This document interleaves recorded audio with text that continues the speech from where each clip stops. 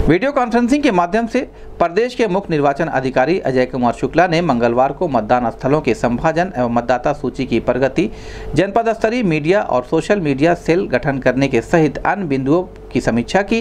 गोरखपुर के एनआईसी सभागार में आयोजित वीडियो कॉन्फ्रेंसिंग में अपर जिलाधिकारी वित्त व राजस्व राजेश कुमार सिंह नायक तहसीलदार सुनीता गुप्ता सहित संबंधित विभाग के अधिकारी मौजूद रहे। वीडियो कॉन्फ्रेंसिंग के माध्यम से मुख्य निर्वाचन अधिकारी अजय कुमार शुक्ला ने मतदेय स्थलों का संभाजन मतदाता सूची की प्रगति, मतदाता पहचान पत्रों का मुद्रण एवं उनका वितरण, स्वीप मीडिया सेल गठित करने सहित अन्य बिंदुओं पर चर्चा की और आवश्यक दिशा निर्देश दिए।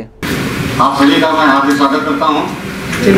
ये विधानसभा 2022 के परिप्रेक्ष्य में आपकी ये पहली वीसी है।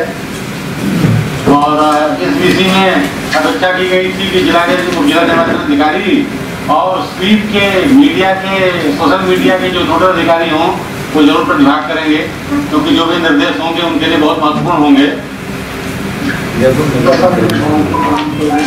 बारह बज चुका है।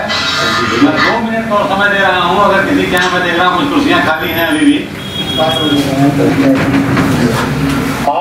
जिस जनपद में बाढ़ आदि की या कोई लॉन्ड की समस्या हो उसमें आपके अधिकारी गए होंगे तो बुलाने की ज़रूरत नहीं है। जो अधिकारी कर्मचारी यहाँ उपस्थित होंगे वो हर चीज़ नोट करके डिप्टी डीओ जब आएँगे उनको अवगत ज़रूर करा देंगे।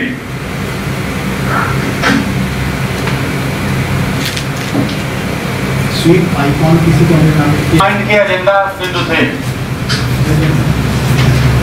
ये आपको बिंदु तय होगा क्योंकि आप यहाँ उपस्थित हैं उसी पत्र के माध्यम से ये बताया गया था कि आपकी रिसीव होनी है। तो आप निश्चित रूप से अवगत होंगे आपको आपको मालूम है कि आपके यहाँ, आपके जनपद में हर पुलिस स्टेशन का, हर विधानसभा का और हर ज़िले का एक ईटी रेशियो होता है। एक जेंडर रेशियो होता है। एक यूथ एज वाइज कोहर्ट होता है। अठारह, उन्नीस उन्नीस से पच्चीस पच्चीस से तीस तीस के ऊपर। ये सारी चीज़ें आप सुन चुके हैं कोई नई चीज़ नहीं बोल रहा हूँ। जैसे इसके बारे में कोई डिटेल नहीं करूँगा। आप अपने यहाँ से, आप लोग अपने अपने विधानसभा के, विधानसभा वार की सूची निकलवा लीजिए और आप, उससे आपको ये पता लग जाएगा कि आपका वीक पॉइंट क्या है। किस विधानसभा में या किस पोलिंग स्टेशन पर आपका रजिस्ट्रेशन बहुत यूथ का बहुत कम है, महिलाओं का कम है। पीडब्ल्यूडीज का कम है। आप उन चीज़ों को लेके अपना थर्ड पॉइंट बनाएँगे, तब बेहतर कर पाएँगे। अभी कंटिन्यूस चल रहा है। एक नवंबर से आपका रजिस्ट्रेशन समरी रिवीजन चलेगा। इसके बाद जब पाँच जनवरी को फाइनल हो, प्रकाशित होगी, उसके बाद फिर आपको कंटिन्यूस अपडेशन का मौका मिलेगा कुछ दिनों के लिए, जब तक नामांकन चलते रहेंगे। तो आप इन चीज़ों को जहाँ अच्छा रजिस्ट्रेशन हुआ है, वहाँ तो होता रहेगा। आप उन गड्ढों को पकड़िए, उन बीएलओ को पकड़िए, जिनके यहाँ रजिस्ट्रेशन बहुत पुअर है। जिनके यहाँ ज़ीरो एक दो तीन लोग डिलीट हुए हों, या ज़ीरो एक दो तीन लोग रजिस्टर हुए हों। ऐसा कोई पोलिंग बूथ नहीं हो सकता साल भर में कोई भी वोटर एलिजिबल न हुआ हो। अभी कुछ दिन पहले रिसीव हुई थी पिछले हफ़्ते इसके डीओ बैठे थे डीओ भी बैठे थे और आरओ आरओ भी बैठे थे। उसमें ये बताया गया कि किन किन जिलों में किन किन जगह किन विधानसभाओं में शाम सिक्स की एंट्री पूरे साल भर भी नहीं हुई है। एक भी किसी भी वोटर का हुआ है। ये अच्छी बात नहीं है। और खास करके हमारा हमारी भूमिका जो शुरू होती है वोटर अवेयरनेस की, कई प्लेटफॉर्म पर शुरू होती है।